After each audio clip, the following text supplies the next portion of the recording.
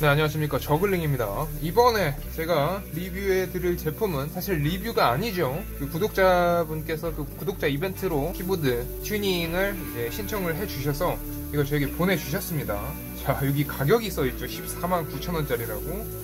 그리고 국내에서 구입한 제품은 아닌 것 같죠. 네, 한글이 쓰여 있지 않고 여기 English US라고 써져 있습니다. 자 슈퍼님께서 신청해 주셨습니다. HyperX 알로이 FPS MX 레드 적축이다. 제발 당첨되기를 이라고 하셨습니다. 당첨이 되셨고요. 네. 제가 이거 얼마나 진짜 완벽하게 윤활을 막 전문가처럼 프로페셔널하게 해드릴 수는 없는데 최대한 만족감을 느끼실 수 있을 정도로 윤활을 해드리도록 하겠습니다. 네. 패키징만 보면 거의 새 상품 같아요. 산지 얼마 안 된 제품을 저에게 보내주신 것 같은데, 네. 한번 네, 책임감을 가지고 윤활을 진행을 해보도록 하겠습니다. 한번 까볼까요? 공인 실이 그대로 있어요. 보니까 체리 체리 적축인 것 같죠? 자 이렇게 오늘 한번 해보도록 하겠습니다. 패키징이 왜 이렇게 고급스러워? 네, 저글링님께 제가 스테빌 윤활을 실패해서 스테빌 윤활은 닦아주시고 다시 해주시면 감사하겠습니다 라고 하셨네요 스테빌 윤활을 자체적으로 시도를 하셨던 걸로 보입니다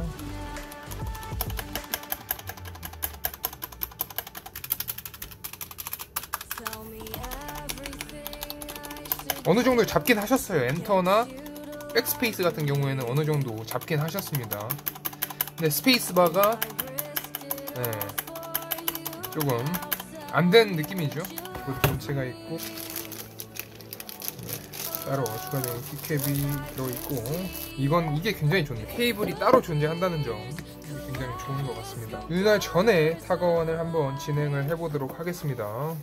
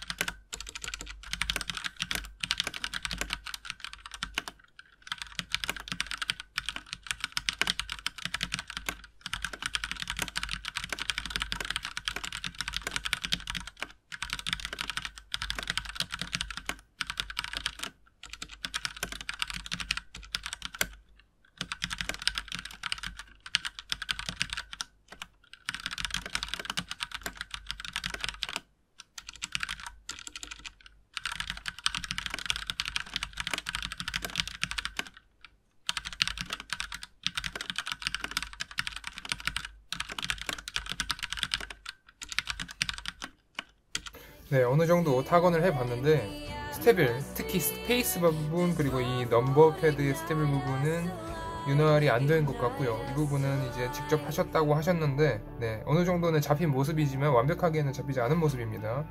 네, 그리고 전체적으로 네, 다른 키들을 보니까 상판을 때리는 어떤 소리 철소리라고 하기는 좀 그렇고 팅팅팅 하면서 뭔가 철심 때리는 소리와 비슷하게 이제 들리기 때문에 이 부분도 윤활을 통해 어느 정도 잡아줄 수 있을 것으로 생각이 됩니다. 네. 일단 키보드 자체의 마감은 굉장히 훌륭해 보여요. 그러니까 국산 제품은 아닌 것 같고 해외 제품인 것 같은데 가장 특이한 점으로는 여기 네, USB 단자가 있습니다. 이게 뭐냐면은 뭐 충전을 위한 그런 단자 같은데 세심한 배려라고 생각이 됩니다. LED 같은 부분도 깔끔하게 모든 키가 LED 투과가 되고 윤활을 하면 어떻게 달라질지 저도 굉장히 궁금해지네요.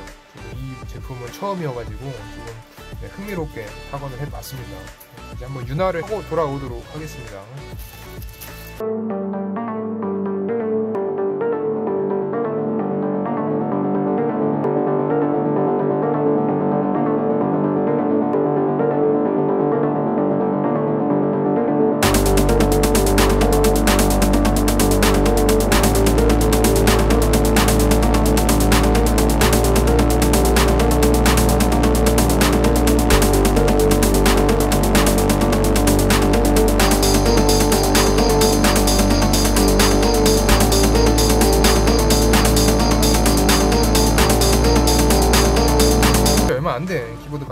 굉장히 깔끔한 모습이고요. 자, 스테빌 같은 경우에는 체리식 stabilizer이기 때문에 직접적인 윤활은 힘들 것 같고 간이 윤활로 진행을 해야 할 것 같습니다. 자, 스프레이 윤활을 다 마친 상태입니다. 이제 스테빌 윤활을 진행을 할 건데요. 이 스테빌 같은 경우에는 체리식입니다. 체리식은 납땜을 하지 않으면은 온전하게 윤활이 힘들기 때문에 전문가들만 이제 제대로 윤활을 할 수가 있는 거고요. 이 스테빌 같은 경우에는 간이 윤활을 진행을 할 건데 대부분의 사람들이 윤활을 어떻게 하냐면은 여기다가 윤활액을 이제 투입을 하려고 해요. 근데 여기가 아니라 이걸 이렇게 들어보시면은 핀셋 같은 거나 뭐 이제 손가락을 이렇게 들어보세요. 그러면은 이 위쪽에 공간이 보일 겁니다. 이 위쪽의 공간. 여기다가 윤활액을 투입을 해주셔야 됩니다. 이때 도움이 되는 물건이 뭐냐면은 주사기입니다. 다이소에서 천 원 정도에 파는데요. 여기다가 뭐 Super Lube면 Super Lube 아니면 뭐 Krytox면 Krytox 구리스를 집어 넣은 다음에 이런 식으로 보관을 할 수도 있고 이런 식으로 체리식 스테빌 윤활할 때 이 주사기가 굉장히 도움이 많이 됩니다. 이렇게 들어주시고 여기다가 이렇게 쏴주시면 돼요.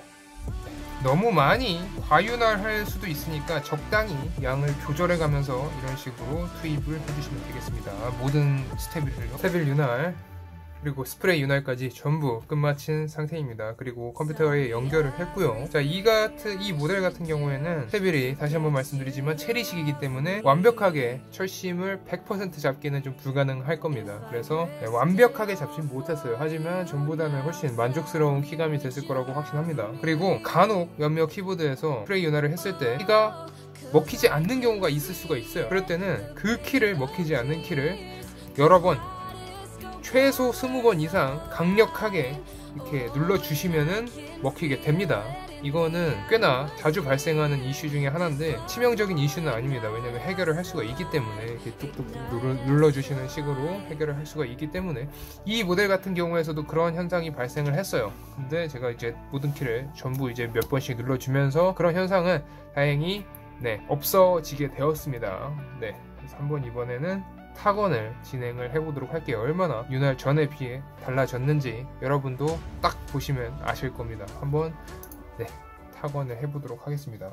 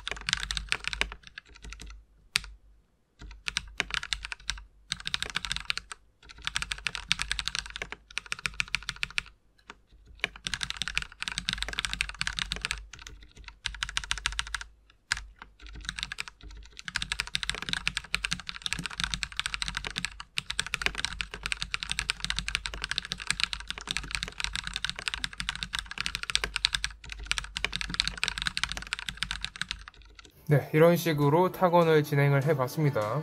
몇몇 키가 다시 한번 말씀드리지만 스프레이 윤활의 어떤 흔한 이슈 때문에 간혹 인식을 하지 않는 경우가 있을 수가 있는데 그럴 때는 그 키를 딱딱딱딱 몇 번씩 눌러주면 해결이 됩니다.